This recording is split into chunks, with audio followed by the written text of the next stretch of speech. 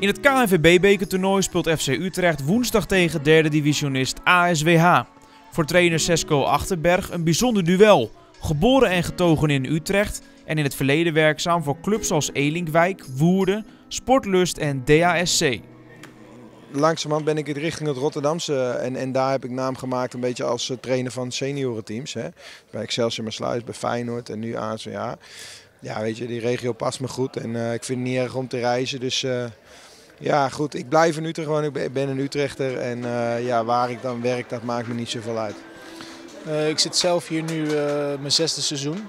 En in die periode Supercup gewonnen, landelijke bekers, gepromoveerd naar de derde divisie. Dus ja, al met al, ik denk dat ASWA ja, inmiddels wel een gerenommeerde amateurclub is. Die zeker in de regio Rotterdam uh, hoog staat aangeschreven. Uh, ja, we hadden het net erover, multicultureel. En, uh, nou, het, is, het is eigenlijk een, een mix van alles. Van jong, oud, cultuur, van alles eigenlijk.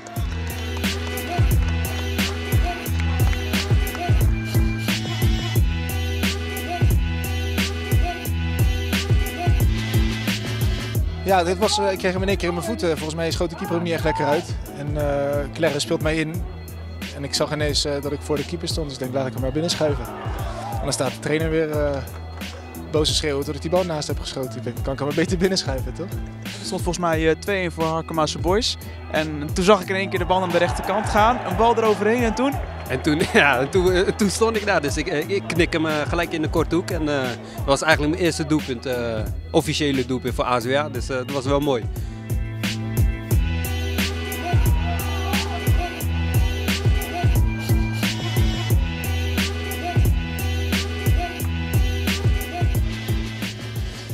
In de rust hebben we afgesproken dat we voor de 3-2 zouden gaan. En we hebben daar ook op gewisseld. En uh, eigenlijk tegen de verhouding in krijgen we de 3-2 om ons oren. Daarna zijn we het kwijt. En uh, verliezen we de wedstrijd ook terecht, denk ik.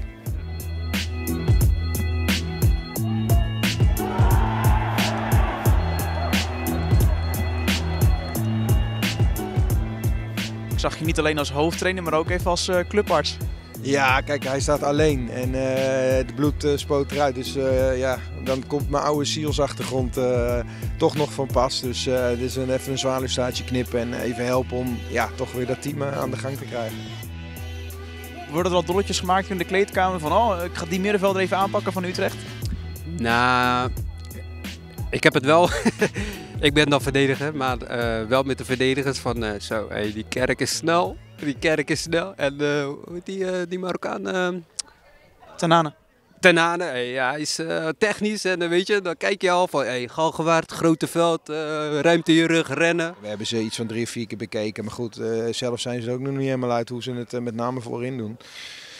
Ja, het is de vraag hoe groot het verschil is. En ja, ik ben bang uh, dat we echt de tijd nodig hebben tot woensdag om de boel op te lappen. Dus uh, ik hoop dat het verschil uh, woensdag ja, zo min, min mogelijk is.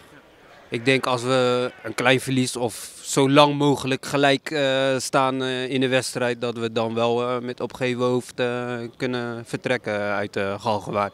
Of misschien met de winst, je weet maar nooit. en als jij jezelf moet omschrijven als speler, hoe zou je dat doen? dynamische middenvelder lees ik vaak terug loopvermogen, uh, ja, diepgang achter de, achter de verdediging. Ik kan niet te veel zeggen natuurlijk, want Dick luistert ook mee.